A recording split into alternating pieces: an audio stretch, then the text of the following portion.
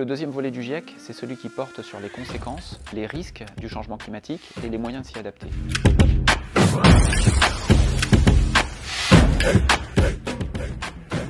Je suis Goniri Loukozane, je travaille sur les questions d'impact du changement climatique, sur les risques et notamment sur les risques côtiers, érosion des, du littoral et submersion marine.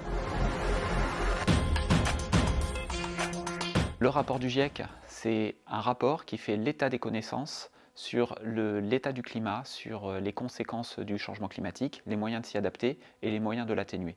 Donc c'est un rapport qui est euh, la référence la plus précise et la plus actuelle dont on dispose à l'instant T pour euh, faire l'état des lieux de, ce qu'on sait sur ce changement climatique. Et par exemple, pour le rapport auquel j'ai contribué, le rapport du groupe 2 du sixième cycle du rapport du GIEC, ce sont 270 auteurs qui ont travaillé pendant 4 ans sur un rapport qui a été revu 4 fois par des experts et par des gouvernements et ce rapport a un résumé pour décideurs qui va être approuvé ligne par ligne. Alors le rapport du groupe 1, il porte sur la connaissance du climat. Donc euh, qu'est-ce qu'on sait aujourd'hui sur le climat? On sait que le climat se réchauffe, il s'est réchauffé d'à peu près 1 degré 1 par rapport à la période pré-industrielle au 19e siècle. On sait que 100% de ce changement climatique que l'on observe est dû aux émissions de gaz à effet de serre de l'homme donc euh, aux secteurs comme le transport, l'agriculture, l'industrie, la production d'énergie, etc.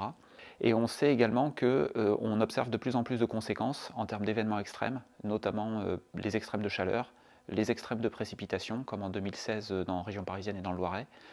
Et on sait également que pour atténuer ce changement climatique, pour ne pas dépasser les 1,5 degré qui sont considérés comme un seuil dangereux de changement climatique, il faut réduire euh, de manière extrêmement importante les émissions de gaz à effet de serre. En fait, il nous reste moins de 12 ans d'émissions de, gaz à effet de serre au rythme actuel d'émissions. Donc ça, ce sont les, conclusions du rapport 1. Et donc ça met en évidence euh, l'urgence en fait de, de, procéder aux politiques climat sur lesquelles les États se sont mis d'accord euh, dans l'accord de Paris de 2015. Donc le deuxième volet du GIEC, c'est celui qui porte sur les conséquences, sur les impacts les risques du changement climatique et les moyens de s'y adapter.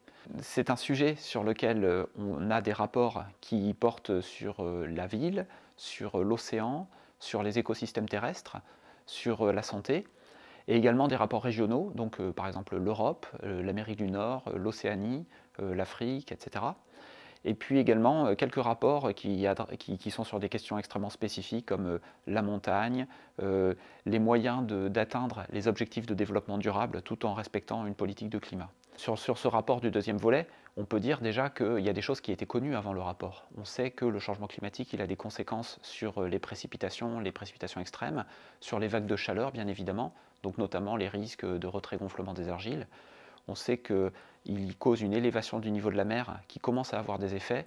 Par exemple, aux États-Unis, ils observent des submersions à marée haute qui sont de plus en plus fréquentes, qui sont la conséquence de l'élévation du niveau de la mer d'origine climatique, combinée avec une subsidence du sol. Et on sait que ça, ça va se généraliser, par exemple, dans les dizaines d'années qui vont venir. Donc on sait déjà beaucoup de choses, en fait, euh, avant même l'apparition de ce rapport, sur les conséquences du changement climatique. Et c'est vrai qu'au fur et à mesure que le changement climatique euh, euh, se poursuit et, s'accélère, on observe de plus en plus de choses, donc on a de plus en plus d'évidence que ce que l'on avait prévu il y a une vingtaine d'années se réalise aujourd'hui. Tout d'abord, les géologues sont des experts de l'histoire du climat. Donc tous nos collègues géologues connaissent parfaitement l'histoire du climat et donc dans le premier rapport du GIEC, il y a beaucoup d'éléments de paléoclimatologie qui sont intégrés. Ensuite, euh, le PRGM travaille sur les risques et sur les ressources en eau. Donc euh, on sait que le changement climatique, ça va avoir des effets majeurs sur le cycle de l'eau.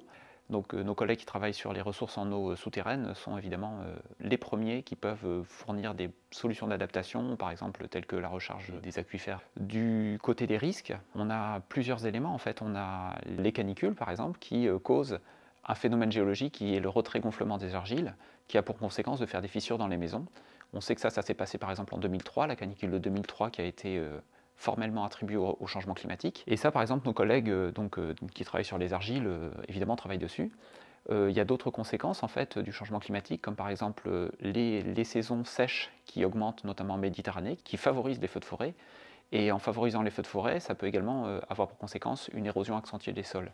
Tout ça, ce sont des risques qu'on appelle des risques en cascade. Et donc, euh, une des spécialités du BRGM en ce qui concerne les risques, c'est effectivement les risques en cascade. Par ailleurs, sur la question des risques, euh, il y a l'évaluation des risques, mais il y a également fournir des moyens de s'adapter. Et donc, il y a tout un mouvement en France et dans le monde pour créer des services climatiques qui vont aider des acteurs comme des entreprises ou des collectivités à s'adapter au changement climatique. Ces services climatiques, c'est quelque chose qui est amené à se développer parce qu'aujourd'hui, on sait qu'il y a un fossé entre les besoins en adaptation et ce que l'on investit dans l'adaptation. Ensuite, sur les aspects atténuation du changement climatique, donc réduire les émissions de gaz à effet de serre, le BRGM, lui, contribue à travers deux technologies notamment, qui sont la géothermie et le stockage géologique de CO2. Et ça, c'est des choses qui sont, euh, qui sont extrêmement importantes pour la transition énergétique. Dans ce rapport, j'ai contribué à deux rapports, en fait, au rapport Europe et au rapport transverse sur la Méditerranée. Et j'ai également eu une contribution dans le rapport Océan, c'est une synthèse en fait sur euh, les conséquences de l'élévation du niveau de la mer et les moyens de s'adapter, qui est intégré dans le, chapitre sur les océans. Dans ce type de rapport du GIEC, on est 270 personnes, ce qui paraît à la fois beaucoup, mais qui est en fait très peu par rapport au nombre de sujets euh, que l'on doit couvrir. Et donc on fait appel à de très nombreux collègues qui sont des contributing authors, qui fournissent des petites contributions, qui n'ont pas accès à l'ensemble du, rapport du GIEC, mais qui vont nous aider en fait à, bien couvrir leur sujet de spécialité. Donc en tant qu'auteur du GIEC, euh, on ne doit pas se limiter évidemment à son sujet de, prédilection. Euh, moi, ce qui me concerne, c'est effectivement l'élévation du niveau de la mer, les conséquences pour les risques côtiers. On doit également euh, couvrir ces sujets et donc aider à assimiler les, contributions qui sont faites par ces contributing authors. Et en particulier, euh, j'ai aidé notamment pour tout ce qui concernait euh, la ville, euh, les migrations, et puis également les risques clés, comme par exemple sur les villes emblématiques comme Venise, qui sont exposées à l'élévation du niveau de la mer. Alors comment devient-on co-auteur du GIEC? Alors tout d'abord, je pense qu'il y a une chose qui est importante à préciser, c'est que tout chercheur qui contribue aux études sur le climat contribue en fait au rapport du GIEC parce que sans les articles qui sont publiés sur euh, le changement climatique, sur les impacts, sur l'adaptation, sur l'atténuation, il n'y a pas de rapport du GIEC. Le rapport du GIEC, c'est un rapport scientifique, donc il se base sur ces articles. Et donc si vous êtes chercheur, vous publiez, vous faites des revues d'articles, donc vous contribuez au rapport du GIEC. Ensuite, comment on devient formellement auteur du GIEC? Eh bien, en fait, il y a un appel à candidature qui est effectué au début de chaque cycle du rapport du GIEC. Donc euh, voilà, j'ai postulé euh, pour être co-auteur du GIEC et il y a une sélection qui est effectuée. Alors évidemment sur la base de, notre CV, hein, des, publications, mais aussi euh, en respectant des équilibres, en particulier euh, des équilibres hommes-femmes, des équilibres par région, parce qu'on a tendance quand même à avoir euh, une sous-représentation des pays en développement, et puis d'autres équilibres qui sont considérés. Ça représente un effort qui est quand même très important. Pour un universitaire, effectivement, on considère que être lead auteur du rapport du GIEC, c'est-à-dire responsable de l'organisation de sections, c'est un tiers-temps approximativement. Euh, quand on est coordinating lead author, donc le niveau supérieur, on coordonne un chapitre, donc ça ce n'était pas ma responsabilité, moi j'étais lead author, c'est quasiment un mi-temps en fait.